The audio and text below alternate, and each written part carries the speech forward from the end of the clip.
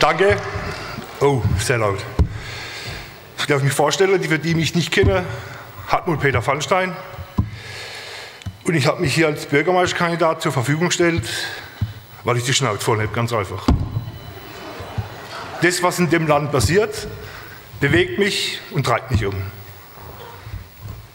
Das in grobe Züge das, was mich antreibt, Bürgermeister zu werden. Ja, äh, was hat ein Bürgermeister mit dem, was im Land passiert, zu tun? Die unterste Stufe eines Staates ist halt ganz einfach eine Gemeinde, die sich organisiert mit anderen Gemeinden und vor allen Dingen vielleicht anfangen wir mal, was Roman Herzog mal gesagt hat, es muss ein Ruck durch Deutschland gehen. Was findet hier in diesem Land statt? Ich kann es Ihnen von meiner Verhandlung sagen, die letzte Woche stattgefunden hat. Wenn ein Richter hinstellt und sagt, dass das Grundgesetz mir Deutsche uns in freiwilliger Abstimmung gegeben haben, also mein Wissensstand ist, dass mir das Grundgesetz von den Alliierten auferlegt bekommen habe, dass es, dass es also das ist mein Wissensstand von Carlo Schmidt in der Präambel, muss man mal ein bisschen durchlesen, was da drin steht. Und wenn ein Richter das sagt, dann weiß ich nicht, was, wenn er sagt, die Grundwerte, Grundgesetz, Artikel 1, 2. Richtig.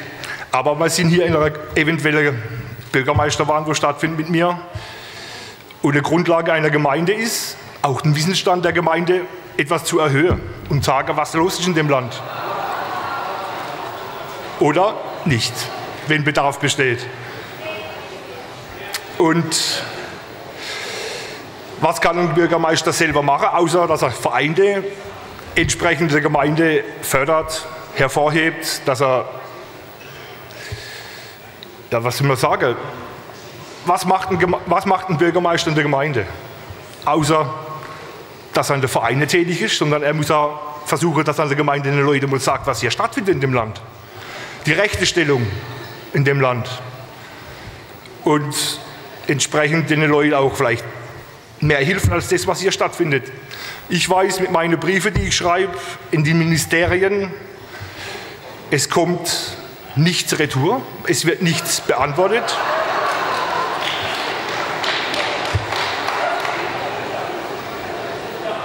Egal, was für Frage man sich stellt, im Großen und Ganzen, man wird halt recht schnell als Reichsbürger abgestempelt.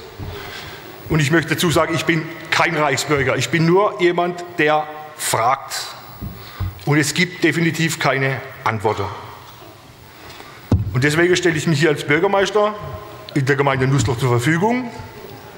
Ob ich nun gewählt werde, das weiß ich natürlich nicht. Mit dem entsprechenden Hintergrund wahrscheinlich nicht, aber nichtsdestotrotz